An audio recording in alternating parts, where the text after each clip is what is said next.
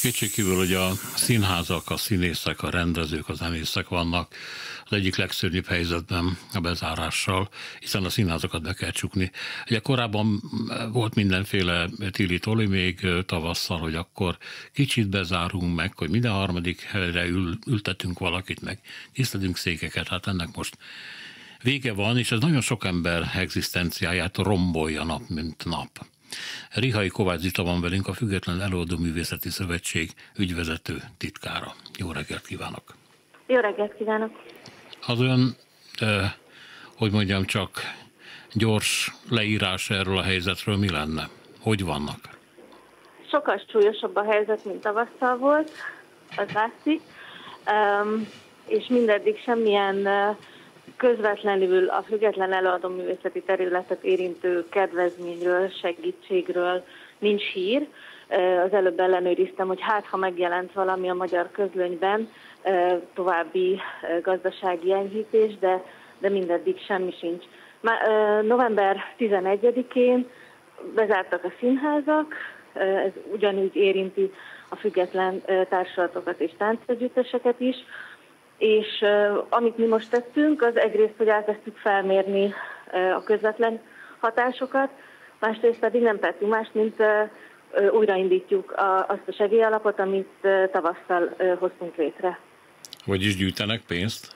Elkezdünk gyűjteni újra, és ezúttal kifejezetten a független területen dolgozókra, azokra, akik vállalkozóként, szabadúszóként dolgoznak ezen a területen, művészek és háttérdolgozók egyaránt bajban vannak, nekik fogunk gyűjteni, és ismét nem nulláról indulunk, mert még nyáron egy nagyobb adományt kaptunk, úgyhogy biztosan fogunk tudni már november végén, december elején segíteni.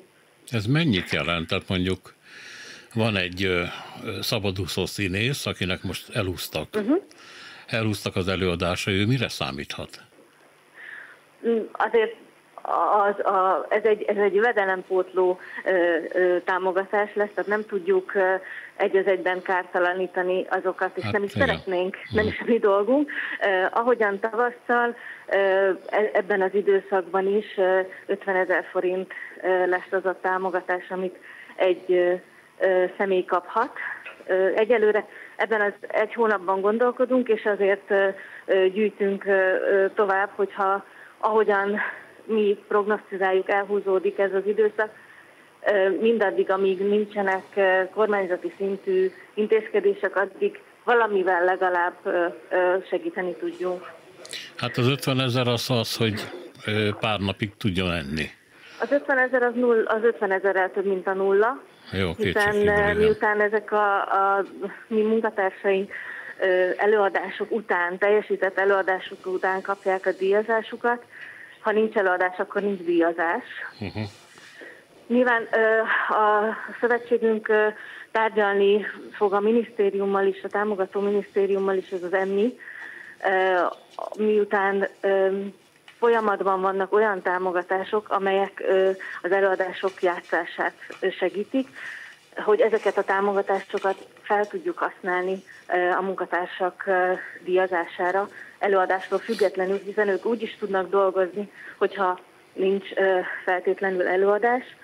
A, illetve ott van a stream, az új megmentő lehetőség, ami azonban költséges, ezért mi azt kérjük, hogy ahhoz, hogy streamelni tudják a függetlenek az előadásaikat, ehhez járuljon hozzá részben legalább a minisztérium. Hát az Örkény Színház csinálja. Igen. Igen, igen ez, ez azért gazdasági kérdés is, mert egy nagyobb nézőtéren játszó színháznak a stream elésből is több bevétele származhat, mint egy pici játszóhelyen játszónak, akinek nincs akkora közönsége. Ezért nagyon jó kell kitalálni, hogy, hogy ki lehessen fizetni a, nem csak a streamelés költségét, hanem a közreműködő művészeket, technikusokat is. Kitől kapnak egyébként támogatást, amikor gyűjtenek? Nagyon érdekes volt látni, hogy egyfelől a kollégák, azok, akik azonnal a, a a bankszámlájukhoz nyúltak, és természetesen a közönség.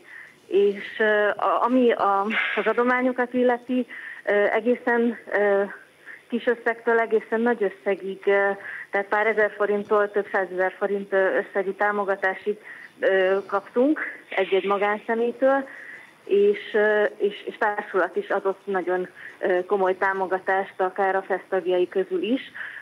Na most az a helyzet, hogy nem tudjuk, hogy ők most milyen helyzetben vannak, és nem is elvárható, hogy, hogy azok, akik éppen azon dolgoznak, hogy megmentsék a, a munkahelyeket a saját közösségükben, azok finanszírozzák, azok támogassák a többieket is, de én bízom abban, hogy, hogy lesz még kapacitás, lesz még segítő erő a közönségben és a kollégákban.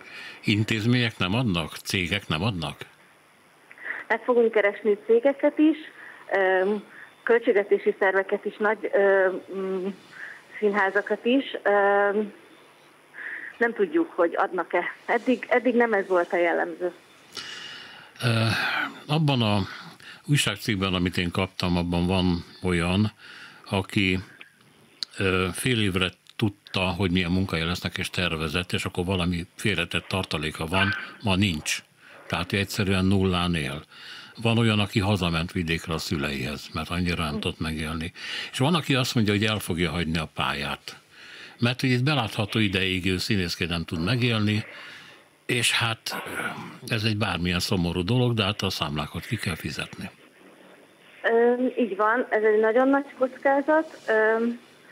a független terület része a teljes színházi szakmának, ezt, ezt teszi színessé, és nagyon nagy számú néző nézi ezeket az előadásokat, ezért is gondoljuk mi azt, hogy, hogy erre, erre vigyázni kell ezért várjuk azt, hogy, hogy segítse az állam a fennmaradását ennek a szektornak. Ugyanakkor az átmeneti időszakban nagyon fontos, hogy ha nem is színházi munka, de valamilyen munka legyen.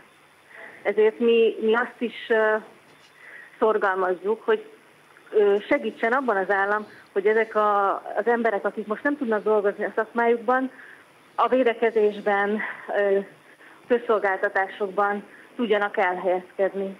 Uh-huh. Azt tudom véletlenül, hogy ugye Magyarország egy ilyen nagy hatalom, mint a külföldi filmes produkciók szempontjából, és ezek újraindultak hihetetlen védettségi rendszerekkel, tényleg, és nincs is semmi probléma, hónapok óta dolgoznak. Tehát nem lehet ott elhelyezni embereket, statisztának, bárminek. Tehát fölvették a kapcsolatot ezekkel a produkciókkal. Mi nem vettük még fel a kapcsolatot, mi keressük még az utakat, de ez egy jó irány lehet azzal, hogy miután ezek a produkciók már működnek, valószínűleg telítettek is Hát ez mindig így van, persze, ez egy nagyon hierarchikus szakma, igen. Először a unokaöcsénket vesszük föl, de előtte még a fiunkat, és így tovább persze. Mint a hát középkori Nem cégek. Én arra gondolok, hogy már ezek mennek ezek a produkciók, tehát muszáj, hogy már felvesz, korábban fel kell De nem, jönnek újak, jönnek mindig dolgoznak. újak, jönnek újak. De, de az amúgy, amúgy köszönöm az ötletet, és meg fogjuk keresni ezeket a szervezeteket is, akik a filmgyártók. Azt Igen. szeretném még kérdezni, előtte Siklaki István szociálpszichológussal próbáltunk beszélgetni arról, hogy az emberek hogy viselik el a lezártságot, a munkanélküliséget. Ilyenkor egy ilyen jövőtlenség áll elő, hiszen az ember nem tudja, hogy mikor szabadul, és mikor lesz újra munkája, mikor lesz újra pénze, tartaléka, stb. Tehát hogy látja a kollégáinak a, a, a lelki állapotát, hogy vannak mentálisan? Még az jön hozzá a művészeknél, hogy van, akinek tavasszal elmaradt a bemutatója, amit úgy, úgy terveztek, hogy novemberben befótolják, és most ismét elmaradt. Tehát kétszer készült, és kétszer maradt el, és ez nagyon-nagyon megviseli az embereket. Mindenki azon van, hogy dolgozhasson. A társulatvezetők nagyon kettősen érzik magukat, mert érzik, hogy munkát kell adni, hogy megélhessenek a kollégák, ugyanakkor nem akarják veszélyeztetni őket. Tehát arra nagyon kell figyelni mindenkinek, hogy, hogy ebben a helyzetben biztonságos munkakörülményeket teremtsen, tehát aggódik mindenki, és és azt látom, hogy, hogy egyik kezével azt mondja, hogy gyere dolgozz, a másik, másik kezével meg azt mondja, hogy nem maradj otthon. Úgyhogy ez most egy reménytelen, bizonytalan és nem tudjuk meddig tartó időszak. Mm, biztos vagyok benne, hogy mentális segítségnyújtásra is szükség van a területen dolgozóknak. És gondolom nem csak fiatal emberekről van szó, hát azért idősebbek is vannak, akik, akik azt mondják, hogy ez a pár év, ami még előttem állt, az számított volna, de lehet, hogy ez is elúszik. Hát hogy ők nyilván még nehezebben dolgozzák ezt fel. Igen, mert ez a, ez a szakma azért nem, tehát hogy lehet, hogy együtt fogunk élni, hogy még, még egy ideig maszkot kell hordanunk, de, de a színház nem az a hely, ahol, ahol ezt tartósan, legalábbis az előadásokon meg ki lehet próbálni.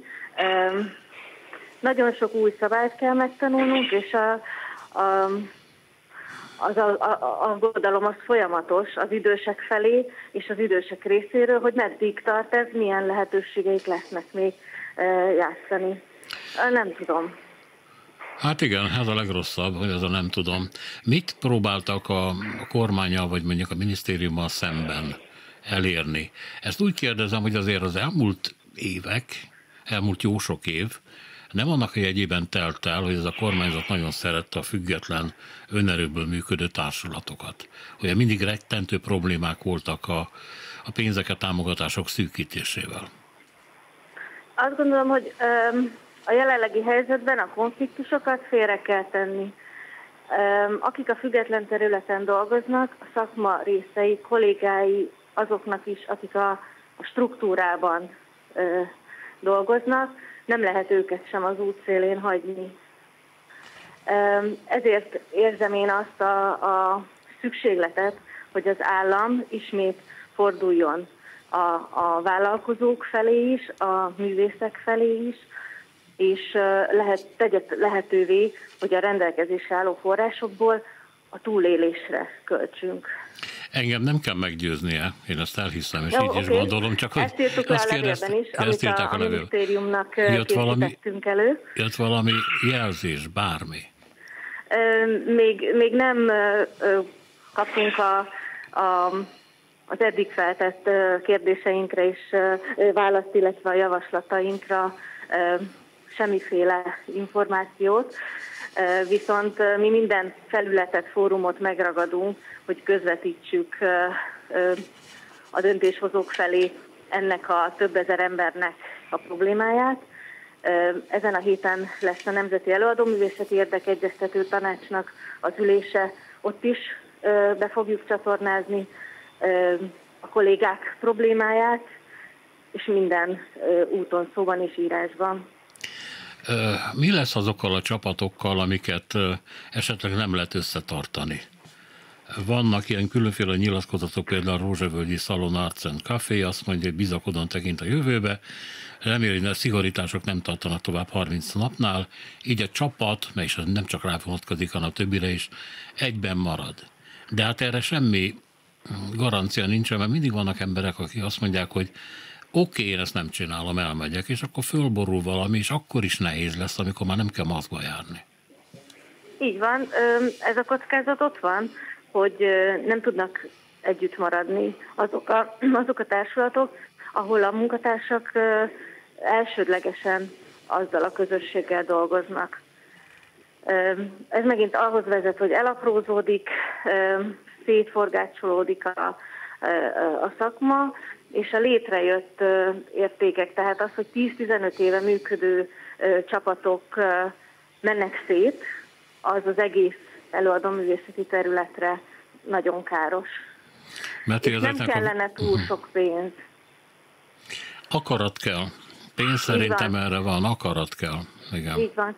És az, hogy elismerje a kormányzat, ahogy, ahogyan azzal, hogy támogatja a szférát, tulajdonképpen elismeri, hogy ez fontos és része az előadó művészet mm, nagy területének, akkor most is ki kell fejeznie, hogy akik itt dolgoznak, azokért is felelősséggel tartozik.